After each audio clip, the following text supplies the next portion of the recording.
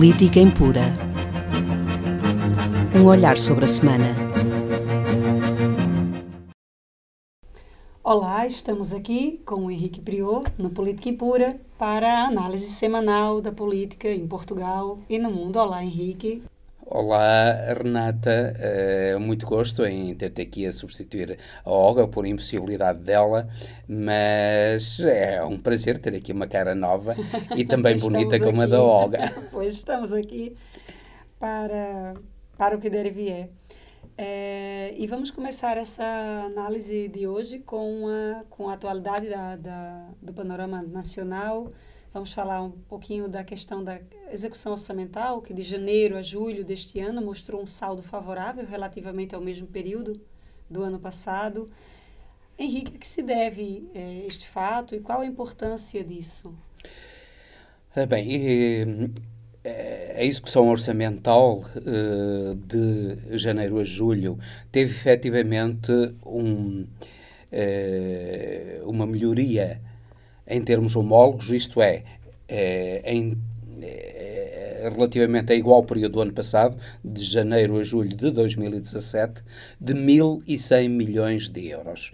É um excelente resultado uh, e esse resultado uh, deve-se uh, a dois fatores. Por um lado, a um crescimento da receita bastante superior àquele que tinha sido orçamentado. Uh, um crescimento da receita de cerca de 5,3%. Para o outro lado, um, uh, um decréscimo uh, da despesa uh, relativamente àquilo que tinha sido orçamentado, de 6,3% passou para 2,5% a despesa. É um resultado excelente em termos de execução orçamental. o que implica também uma diminuição da dívida do país. Eh, e isto deve-se em grande parte à, uh, ao crescimento económico que o país está uh, a ter. Uh, Previa-se um crescimento económico para este ano de, quanto muito, uh, entre 1,9% a 2,1%, e o crescimento está a ser de cerca de 2,3% e provavelmente poderá ser ainda superior até ao final do ano. E isso, o crescimento económico, implica precisamente uh, uma uh, diminuição do desemprego, um aumento do IVA, que subiu 3,8%, cerca de 3,8% a colheita do IVA durante este período, o IRC, que cresceu mais de 15% também, o que é notável, o IRS, que cresceu também, excepcionalmente, tendo aumentado também eh, cerca de 7, quase 8% as contribuições para a Segurança Social. Tudo isso eh, afetou de uma maneira extremamente positiva as contas públicas. Ora bem, isso significa eh, o seguinte: é que, eh, ao contrário do que dizia o governo de Passos Coelho, eh, o investimento e o fim da, da austeridade promoveu não só a distribuição de rendimentos e, e, e, e portanto, o aumento da procura uh, interna, uh, como uh, também uma diminuição do déficit público. Isto é, aquilo que se provou foi que a receita da Troika, que foi aplicada em Portugal e em outros países, nomeadamente de uma maneira extremamente, extremamente dolorosa para a Grécia, essa receita estava completamente errada, como Portugal veio demonstrar. E é pena que uh, Centeno não tenha tido a coragem de, uh, na sua comunicação como Presidente do Eurogrupo relativamente ao, ao fim uh, do programa de ajuda financeira, que não era ajuda financeira, atenção, da Troika à Grécia, no fundo aquilo que fizeram, a ajuda financeira foi para pagar aos bancos alemães, sobretudo. É um, investimento a, é um inv... a altos juros, não é? é? não, não é só um investimento a altos juros, foi um investimento a altos juros dos, uh, do Banco Central Europeu, do FMI e tudo isso, mas não para investir na economia grega, mas, mas, mas para pagar, mas para pagar a dívida que a Grécia tinha com os bancos alemães. Os bancos alemães especularam com a dívida grega e depois saíram-se mal disso. Mas eles não ficaram com, com uh, uh, os, os prejuízos. Quem ficou com os prejuízos foi a população grega que não teve culpa nenhuma disso.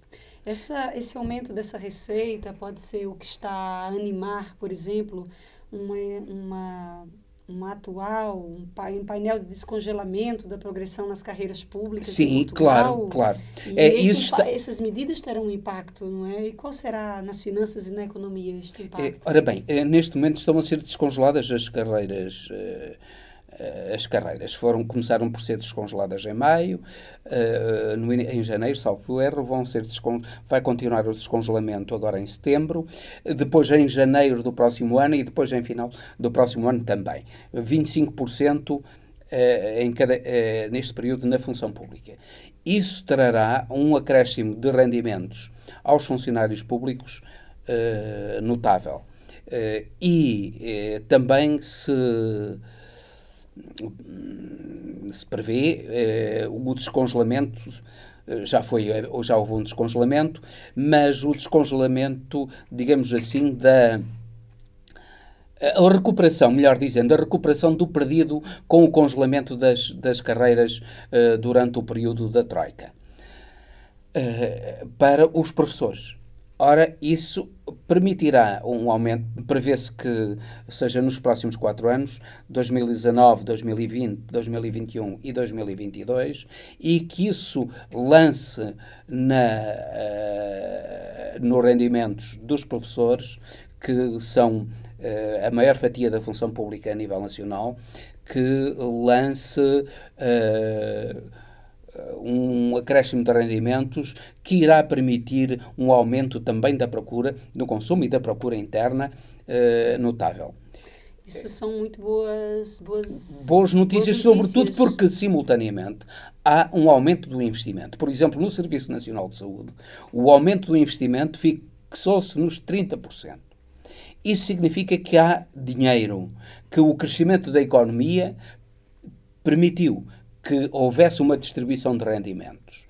Uh, uh, o que é excelente para a economia, é excelente para os portugueses e é excelente para o pagamento também da dívida pública portuguesa. Podemos Portanto, imaginar, isso... então, uma, uma campanha nas próximas eleições nacionais pautada na, na valorização desse, dessa renovação Sim, claro, claro. Que, claro que é, é óbvio que, que o governo de António Costa já se percebe perfeitamente. O governo de António Costa vai, vai eh, eh, vai ter a vida grandemente facilitada nas próximas eleições, por imensas razões, eh, por uma incapacidade e divisão até da própria oposição, mas também por novos partidos, por algumas, algumas, algumas algumas uh,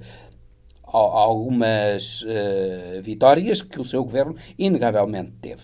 Agora, é claro que o governo de António Costa uh, não acabou com muitos constrangimentos da economia não acabou com os PPPs ruinosas, nomeadamente, por exemplo, as, as, PPs, as PPPs ainda continuamos a pagar a Ponte Vasco da Gama, Será que é uma vergonha, é uma vergonha, já foi paga três vezes, é uma vergonha, e outras PPPs, quer rodoviárias, quer Uh, quer uh, uh, dos hospitais, e, e, isso causa um constrangimento enorme às finanças públicas. Ou seja, será uma próxima campanha pautada na redução Por outro, dos PPPs e na valorização de pessoal, não é? das pessoas sim, de valorização das pessoas e, eh, nomeadamente, por exemplo, os, os chamados COMEX eh, relativamente à EDP, eh, que, são, que é um financiamento que o Estado, cerca de 700 milhões de, de euros, que o Estado dá anualmente para a EDP, é uma vergonha é uma vergonha esse tipo de, de contratos. Usura, tem que acabar com isso mesmo. Uh, tem que acabar com isso. Infelizmente, o governo de António Costa não está a ter coragem para acabar com isso. E tem de haver alguém na oposição que tenha coragem para dizer isso tem de acabar.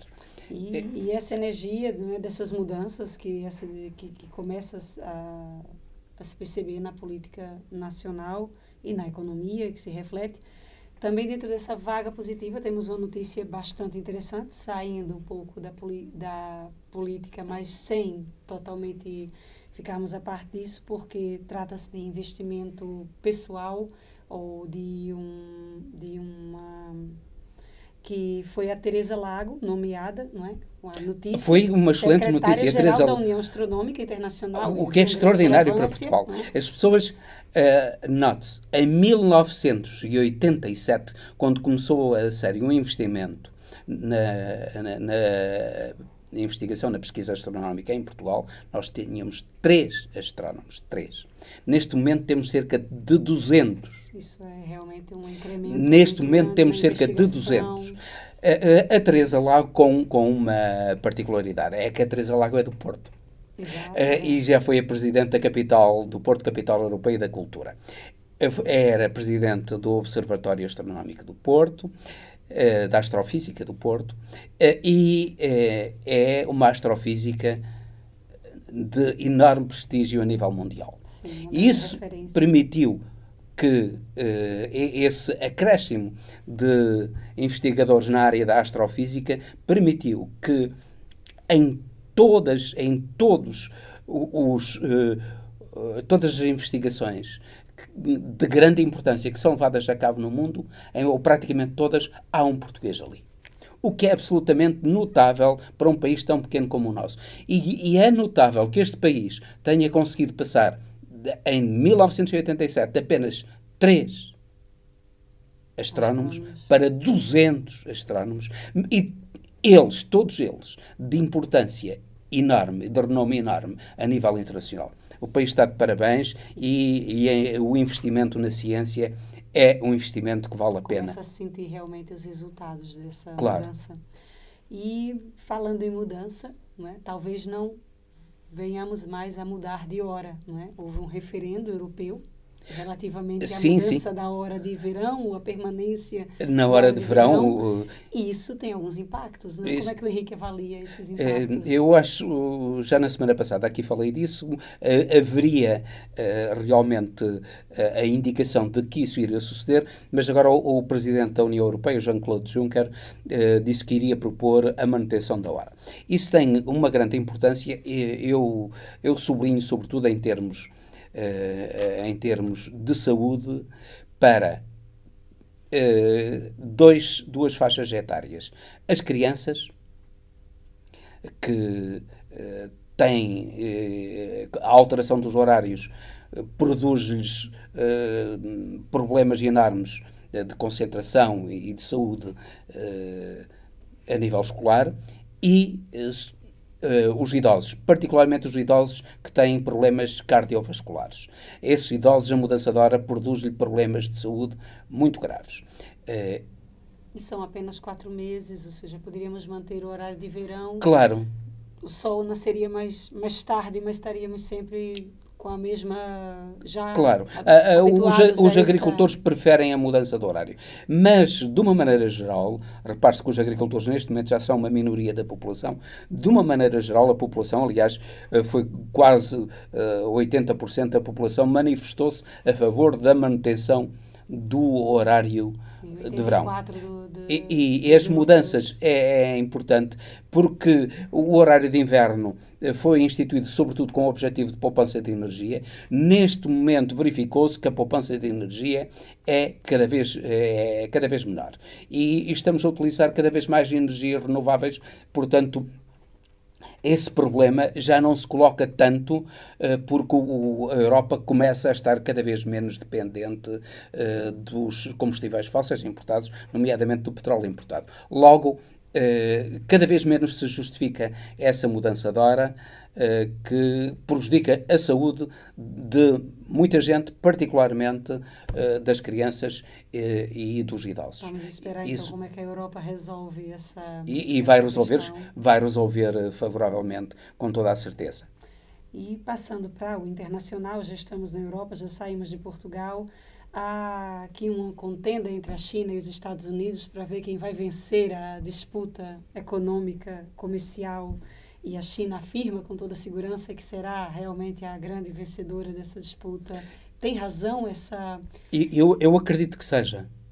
Eu acredito que seja. A curto prazo, os Estados Unidos vão ter vantagem. E vão ter vantagem porquê?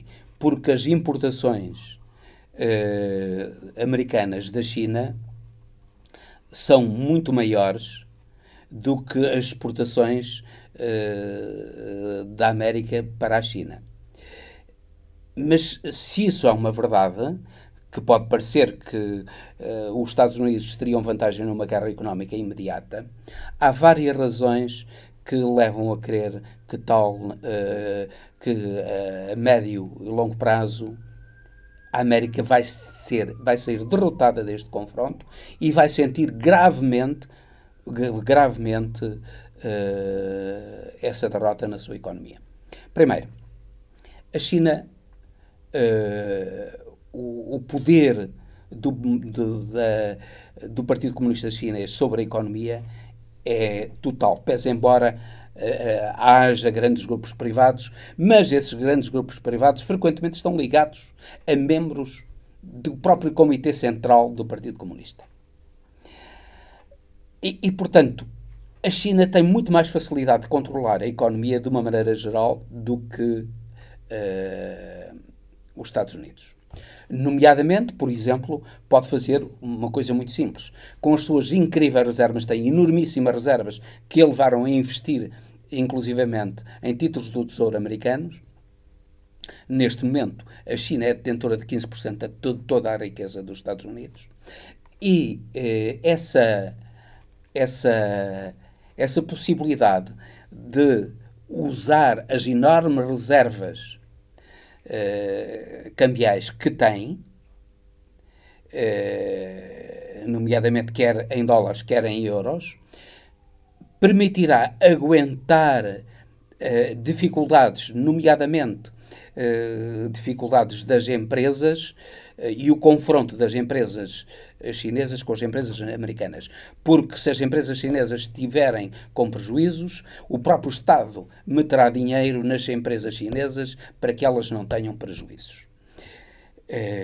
aliás, é esse um dos problemas, mas irá agravar-se. Um dos problemas que Trump eh, assinala à economia chinesa é precisamente que o Estado mete lá dinheiro e financia as empresas eh, e, e, portanto, faz dumping comercial eh, com as empresas americanas. Isso é verdade, isso é verdade, mas numa guerra comercial a China poderá usar isso e América não. Porque a América deste, está altamente endividada. Exato. E dentro deste panorama, o, o fim do acordo NAFTA, por exemplo. É, mas mas eu, eu, vinha, eu, eu, iria, eu iria dar outras razões ainda para isso, porque me parece mais importante. É que, e, e esse problema do, do acordo NAFTA e, do, e outras questões. Uh, mostram até que ponto é que uh, a China pode vencer essa guerra comercial. É que se Trump se limitasse a, abrir uma guerra comercial com a China, ele poderia sustentar durante muito tempo essa guerra comercial. Mas ele já ameaça e, retirar e, os Estados Unidos eu, da Organização sim, Mundial do Comércio. Sim, sim. Então, eh, sim, mas, ele mas ele, a... uh, sim, mas isso só lhe será prejudicial. Ele não percebe que retirar uh, os Estados Unidos da Organização Mundial do Comércio significa romper os acordos comerciais com todo o mundo. Ora, se seria possível manter durante muito tempo vantagens numa guerra comercial só com a China, não lhe é possível manter durante muito tempo uma guerra comercial com a União Europeia, com os países do NAFTA, que é o México, o México, nomeadamente é o México e o Canadá, já realizou um acordo com o México uh, para, uh, numa, no que toca aos problemas de transações comerciais entre os dois países, mas não o fez com o Canadá. e depois com a Europa. Com a Europa, o problema é muito maior, porque a Europa, porque a Europa ameaça os Estados Unidos com a indústria automóvel. Se o problema com, com Uh, o Canadá é sobretudo um problema da indústria farmacêutica americana que tem custos elevadíssimos uh, e que acusa o, Canadá de não respeitar uh, as licenças comerciais, mas a verdade é que o Canadá não protege, como os Estados Unidos, a sua indústria farmacêutica e os medicamentos nos Estados Unidos custam o dobro ou o triplo dos medicamentos no Canadá. Uh, e, e, é contra isso, é contra os enormes lucros que as empresas americanas estão habituadas a ter nos Estados Unidos que elas estão a regular-se uh, para, uh, para impedir que haja, no fundo, a, a, a, venda de medicamentos do Canadá para os Estados Unidos que o, o, acordo NAFTA permitiria e que enchia a América de medicamentos produzidos no Canadá e que eram comercializados na própria América a preços muito inferiores aos medicamentos americanos, patenteados pelas empresas americanas. Ora, esse, esse problema penso que é um problema importante e é difícil de contornar, porque me parece que o Filipe Trudeau é suficientemente duro para uh, não, não prejudicar excessivamente os consumidores e os, uh, uh, e as empresas, as empresas canadianas de medicamentos. Por outro lado, Trump, o problema de NAFTA, já tendo alcançado um acordo com o México, só que se ceder no acordo com o Canadá tiver algumas vantagens hum, nomeadamente com o leite uh, e, com, e com os e com os, os medicamentos, Trump aceitará um acordo no âmbito do NAFTA uh, para dizer internamente neste momento em que o seu prestígio até está relativamente baixo, para dizer internamente que, afinal de contas, a guerra dele serviu de alguma coisa. Está. É um estilo resulta, próprio do próprio é, Trump, essa negociação, essa né, negociação de tubarão que levou está a levar a política externa norte-americana ao extremo mesmo da, está desse... a levar ao extremo mas mas ele poderia e, e eu até eu até compreendo que ele uh, que ele uh, lute contra a China porque efetivamente há aí dumping comercial e até social da China. Uh, mas a China mas aquilo que irá fazer é uma coisa muito simples neste momento a China produz 90% dos computadores mundiais e 80% dos telemóveis mundiais. Mas as patentes são americanas. E grande parte. Já houve quebra de patentes noutros, noutros, Sim, mas, noutros, noutros produtos. Por exemplo, o Brasil mesmo entrou em, em, choque uma vez com a América ao quebrar a patente, por exemplo, dos medicamentos para a SIDA. Pois. E esse, as patentes podem eventualmente vir a ser quebradas. Ou seja, mas, mas, produção... não, mas não, é, não são as patentes que vão ser, estão a ser quebradas é que a área do, dos telemóveis e dos computadores é uma área extremamente volátil.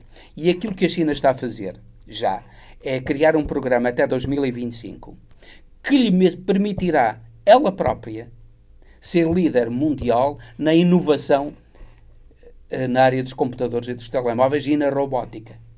Ora, aquilo que pode ser terrível é que a China, que neste momento tem uma posição que não é a líder mundial e que nessa área, em, em termos de, de, inovação, não é líder, é líder no que toca uh, ao fabrico, não no que toca uh, à concepção. Mas tem investido também nessa área nessa, da investigação. Se investir nessa área, e... se investir nessa área, uh, os Estados Unidos poderão ser gravemente prejudicados.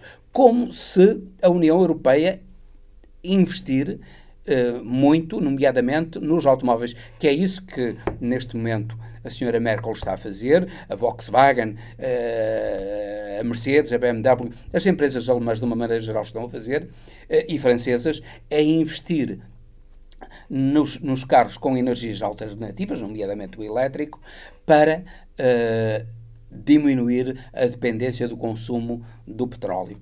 Ora, se isso acontecer, a Europa voltará a ter vantagens competitivas porque toda a política de Trump é de manutenção uh, do domínio das uh, energias fósseis, como é o petróleo.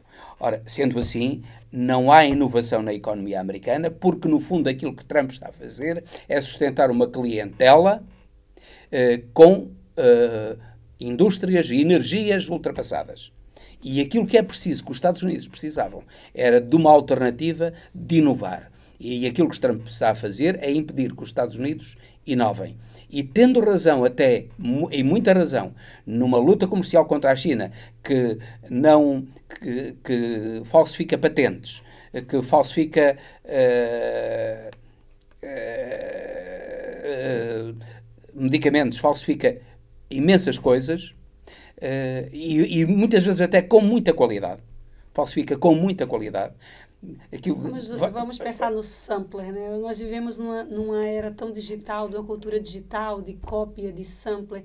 Então, é, talvez dentro desse modelo de, de gerir a economia, de gerir o modelo Trump seja datado, esteja o tão, modelo Trump, apesar de estar em, na é, moda, é uma Trump, moda datada, o modelo um Trump não, dos anos não 70, é, dos anos 60. Não está, não está, uh, o, o, problema, o problema é que é que o problema é que a moda é mudar. A moda é mudar cada vez mais. E quem não perceber isso, como o Trump não está a perceber, e aqueles que o apoiam, isso o que vai suceder é que o afastamento dele dos acordos e a guerra comercial dele irá proteger uh, as, as indústrias que, uh, que estão contrárias à inovação, irá impedir que os Estados Unidos desempenhem o papel muito importante que deviam desempenhar na economia mundial.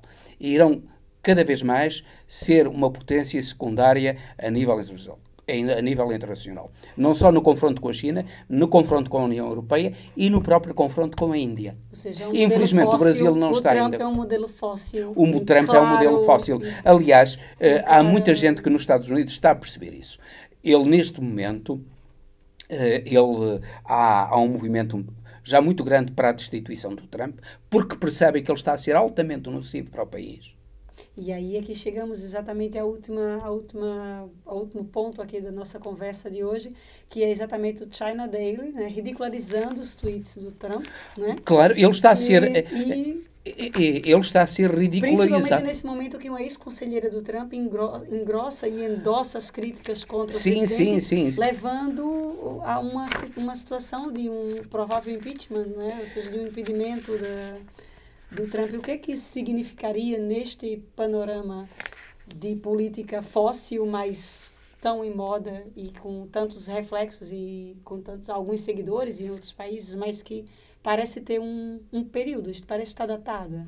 É, é foi uma, uma senhora, uh, Amorose uh, Neumann, que foi, era uma negra, que é ex-conselheira do Trump e que foi apresentada pelo Trump como um grande trunfo eleitoral porque era negra e ele era acusado de racismo e a presença de uma negra no seu círculo mais próximo de conselheiros demonstrava ou procurou demonstrar que não era isso, mas ela própria cansou de ser instrumentalizada, provavelmente. Não só cansou de ser instrumentalizada, como se dispôs neste momento a falar para dizer tudo aquilo que sabe sobre a forma como Trump chegou ao poder. Nomeadamente, nomeadamente uh, através de uh, um acordo com a Rússia de Putin uh, e através da violação dos segredos e da invenção de notícias falsas sobre a Hillary Clinton. Hoje está cada vez mais claro que isso aconteceu não só a influência uh, russa nas eleições americanas, com conhecimento de Trump. Todos os, os seus, uh, todos os seus, uh, ou quase todos aqueles que o rodeavam, neste momento já estão dispostos a falar porque viram que, afinal de contas, Trump está a levar a América para um beco sem saída. E não só essa senhora ex-conselheira, como o próprio advogado de Trump, como o próprio ex-conselheiro Paulo Manafort de Trump, estão dispostos a falar ao procurador uh, que investiga as ligações uh, perigosas de, de Trump a, a Putin, uh, estão dispostos a falar e isso torna cada vez mais possível a destituição de Trump, que é que seria o primeiro presidente a ser destituído na América. Isso é muito interessante, essas ligações russas, não é? Porque isso vai nos levar ao nosso próximo encontro, que será qual será provavelmente o impacto dessas fake news e desses fatos alternativos e mesmo a influência de uma de um bloco mais oriental, mais mais russo nas eleições na América Latina que se adivinham agora sim, para sim. outubro. Vamos ficar sim, com esse vamos, tema vamos, para o próximo vamos, vamos o falar do Brasil. Impura, vamos falar do Brasil. Impura. Do e- Brasil, no nosso país irmão de Portugal, país amado de Portugal, dos portugueses e que infelizmente, infelizmente ainda não encontrou o seu caminho. Teremos que ter um bom tempo para tentar compreender realmente quais são os ventos que vão soprar. Se é possível compreender outubro. o Brasil. É, é vamos, vamos fazer o nosso esforço. E terminamos assim mais um Política Impura. Obrigada, Henrique, pela, pela companhia e foi muito bom realmente estar neste momento com, contigo. Né? E E até um próximo Política até Impura. um próximo Política Impura. Política Impura. Um olhar sobre a semana.